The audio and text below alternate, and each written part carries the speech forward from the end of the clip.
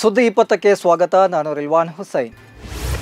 CM ಸ್ಥಾನಕ್ಕಾಗಿ ಉಂಟಾಗಿರುವ ಕಗ್ಗಂಟು ಬಗೆಹರಿಸೋಕೆ high command ಮೂವತ್ತು ಮೂವತ್ತು ಸೂತ್ರದ ಮೊರೆ ಹೋಗುವ ಬಗ್ಗೆ ಚಿಂತನೆ ನಡೆಸಿದೆ.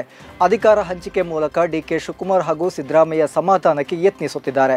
ಉಭಯ ನಾಯಕರಿಗೆ ತಲಾ ಮೂವತ್ತು ತಿಂಗಳು ಆಡಳಿತ ನಡೆಸಲು ಅವಕಾಶ ನೀಡಲು ಮುಂದಾಗಿದೆ. ಆದರೆ ಅಧಿಕಾರ ಹಂಚಿಕೆಗೆ ಡಿಕೆ ಶಿವಕುಮಾರ್ ಒಪ್ಪುತ್ತಿಲ್ಲ ಎನ್ನಲಾಗುತ್ತಿದೆ. ಅಥವಾ ಸಿದ್ದರಾಮಯ್ಯರಿಂದಲೂ ಅಧಿಕಾರ ಹಂಚಿಕೆ ವಿರೋಧ ವ್ಯಕ್ತವಾಗಿದೆ ಎಂದು ವರದಿಯಾಗುತ್ತಿದೆ. ಈ ಹಿನ್ನೆಲೆಯಲ್ಲಿ ಸಿಎಂ ಆಯ್ಕೆ ಇನ್ನಷ್ಟು ಕಗ್ಗಂಟಾಗಿದೆ. ಪ್ರತ್ಯೇಕವಾಗಿ ಇನ್ನೊಮ್ಮೆ ಸಭೆ ನಡೆಸಿ ಮಾತುಕತೆ ಮಾಡುವ ಸಾಧ್ಯತೆ ಇದೆ. ಆದರೆ ತಕ್ಷಣ ಕಾಂಗ್ರೆಸ್ ಪಕ್ಷ ಈ ಗುದ್ದಾಟವನ್ನು ನಿಲ್ಲಿಸಿ ಉತ್ತಮ ಆಡಳಿತ ನೀಡುವ ಕಡೆ ಗಮನ ಕೊಡಲೇಬೇಕು. ಅದಲ್ಲದಿದ್ದರೆ ಜನರು ನಿಮ್ಮ ಮೇಲೆ ಇಟ್ಟಿರುವ ನಂಬಿಕೆಗೆ ನೀವೇ ದ್ರೋಹ ಮಾಡಿದಂತಾಗುತ್ತದೆ. ಕಲ್ಯಾಣ ಕರ್ನಾಟಕ ಭಾಗಕ್ಕೆ ಉಪಮುಖ್ಯಮಂತ್ರಿ ಸ್ಥಾನ ನೀಡಲಿ ಎಂದು ರಾಯಚೂರಿನಲ್ಲಿ ಶಾಂತಮಲ್ಲ ಶಿವಾಚಾರ್ಯ ಸ್ವಾಮೀಜಿ ಒತ್ತಾಯಿಸಿದ್ದಾರೆ. ರಾಜ್ಯದ ಜನರು ಕಾಂಗ್ರೆಸ್ ಪಕ್ಷಕ್ಕೆ ಸ್ಪಷ್ಟ ಬಹುಮತ ನೀಡಿದ್ದಾರೆ. ಕಾಂಗ್ರೆಸ್ ಪಕ್ಷ ಮುಂದಿನ ಐದು ವರ್ಷ ಉತ್ತಮ ಆಡಳಿತ ನೀಡಲಿ. ಕ್ರಿಯಾಶೀಲ ವ್ಯಕ್ತಿ ಈಶ್ವರ್ ಖಂಡ್ರೆಗೆ ಡಿಸಿಎಂ ಸ್ಥಾನ ನೀಡಬೇಕು.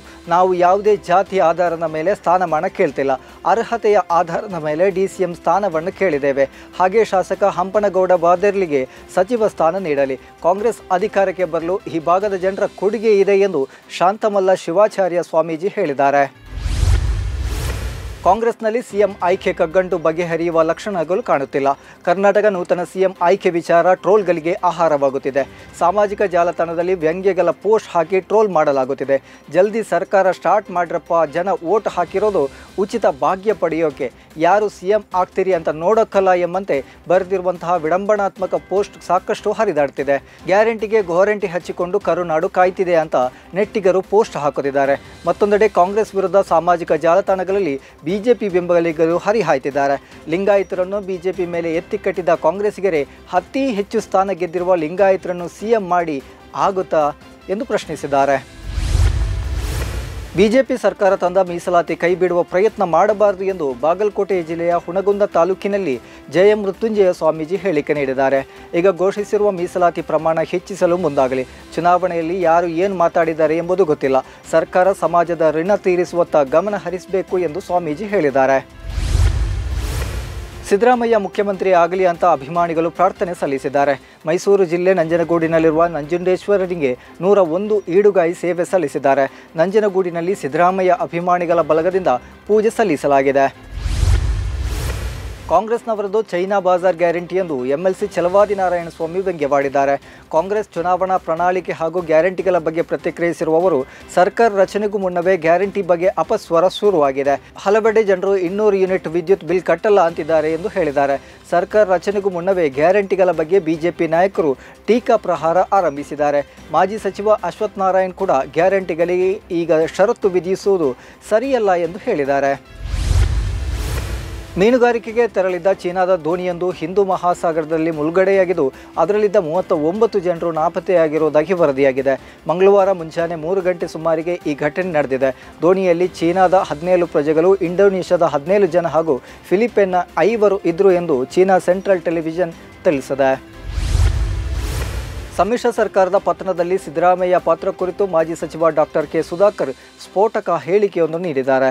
ಸಮ್ಮಿಶ್ರ ಸರ್ಕಾರ ಪತನದಲ್ಲಿ ಸಿದ್ದರಾಮಯ್ಯ ಪಾತ್ರ ನಿರಾಕರಿಸಲು ಸಾಧ್ಯವೇ ಎಂದು ಚಿಕ್ಕಬಳ್ಳಾಪುರದಲ್ಲಿ ಪ್ರದೀಪ್ ಈಶ್ವರವಿದ್ದ ಹೀನಾಯವಾಗಿ ಸ್ವತಃ ಮಾಜಿ ಸಚಿವ ಡಾಕ್ಟರ್ ಕೆ ಸುಧಾಕರ್ ಪ್ರಶ್ನಿಸಿ ಟ್ವೀಟ್ ಮಾಡಿದ್ದಾರೆ.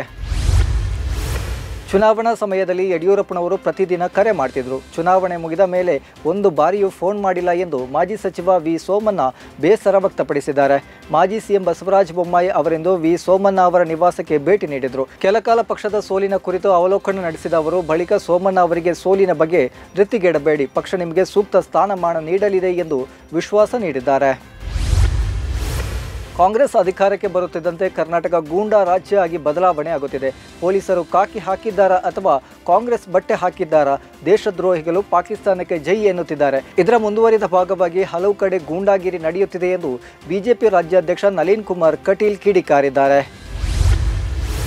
ಕರ್ನಾಟಕ ವಿಧಾನಸಭಾ ಚುನಾವಣೆ ಎರಡ್ ಸಾವಿರದ ಇಪ್ಪತ್ತ್ಮೂರರಲ್ಲಿ ಕಡೂರು ಕ್ಷೇತ್ರದಿಂದ ಸ್ಪರ್ಧಿಸಿ ಪರಾಜಿತಗೊಂಡ ಜೆಡಿಎಸ್ನ ವೈಎಸ್ವಿ ದತ್ತ ಇದೀಗ ಚುನಾವಣಾ ರಾಜಕೀಯದಿಂದ ಹಿಂದೆ ಸರಿದಿದ್ದಾರೆ. ಮಾತ್ರವಲ್ಲದೆ ಚುನಾವಣೆ ಸಮಯದಲ್ಲಿ ನಡೆದ ಬೆಳವಣಿಗೆಯಿಂದ ಪಶ್ಚಾತ್ತಾಪ ಪಟ್ಟಿರುವ ದತ್ತ ಅವರು ಇದೀಗ ಕ್ಷೇತ್ರದಲ್ಲಿ ಪಶ್ಚಾತ್ತಾಪ ಯಾತ್ರೆ ಕೈಗೊಂಡು ಜನರಲ್ಲಿ ಕ್ಷಮೆ ಕೋರಲು ನಿರ್ಧರಿಸಿದ್ದಾರೆ ಎಂದು ತಿಳಿದುಬಂದಿದೆ ಮುಖ್ಯಮಂತ್ರಿ ಆಯ್ಕೆ ವಿಚಾರ ಕಾಂಗ್ರೆಸ್ ಪಕ್ಷದ ಹೈಕಮಾಂಡ್ಗೆ ಕಗ್ಗಂಟಾಗಿ ಪರಿಣಮಿಸಿರುವ ಬೆನ್ನಲ್ಲೇ ನಾನು ಸಿಎಂ ಆಗಲು ಸಿದ್ಧ ಎಂದು ಜಿ ಪರಮೇಶ್ವರ್ ಹೇಳಿರುವುದಾಗಿ ವರದಿಯಾಗಿದೆ. ಮುಖ್ಯಮಂತ್ರಿ ಆಗಲು ನಾನು ಸಿದ್ಧನಿದೆ. ನಾನು ಐವತ್ತು ಶಾಸಕರನ್ನು ಕರೆದೊಯ್ಯಬಹುದು. ಆದರೆ ಎಂದಿಗೂ ಲಾಬಿ ಮಾಡುವುದಿಲ್ಲ ಎಂದು ಪರಮೇಶ್ವರ್ ಹೇಳಿದ್ದಾರೆ. ಈ ಮೂಲಕ ತಮ್ಮನ್ನು ಮುಖ್ಯಮಂತ್ರಿ ಮಾಡಿದರೆ ಸರ್ಕಾರ ಮುನ್ನಡೆಸಲು ಸಿದ್ಧ ಎಂದು ಹೇಳಿದ್ದಾರೆ. ಕರ್ನಾಟಕದಲ್ಲಿ ಬಿಜೆಪಿಯ ಹೀನಾಯ ಸೋಲಿಗೆ ವಿವಿಧ ಕಾರಣಗಳನ್ನು ಹೇಳಲಾಗುತ್ತಿದೆ.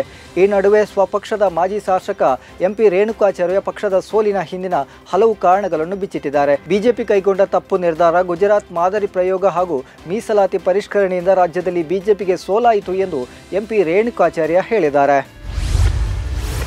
ಕಾಂಗ್ರೆಸ್ ನಾಯಕ ರಾಹುಲ್ ಗಾಂಧಿ ಅವರು ಮೇ ತಿಂಗಳ ಅಂತ್ಯಕ್ಕೆ ಹತ್ತು ದಿನಗಳ ಕಾಲ ಅಮೆರಿಕ ಪ್ರವಾಸ ಕೈಗೊಳ್ಳಲಿದ್ದಾರೆಂದು ಮೂಲಗಳನ್ನು ಉಲ್ಲೇಖಿಸಿ ಎಎನ್ಐ ಸುದ್ದಿಸಂಸ್ಥೆ ವರದಿ ಮಾಡಿವೆ. ಮೇ ಮೂವತ್ತೊಂದರಂದು ಅಮೆರಿಕ ಪ್ರವಾಸ ಶುರು ಮಾಡಲಿರುವ Rahul Gandhi New York California, Washington ಸೇರಿದಂತೆ ಕೆಲವು ನಗರಗಳ ಹಲವು ಕಾರ್ಯಕ್ರಮಗಳಲ್ಲಿ ಭಾಗಿಯಾಗಲಿದ್ದಾರೆ ಎಂದು ಹೇಳಲಾಗಿದೆ.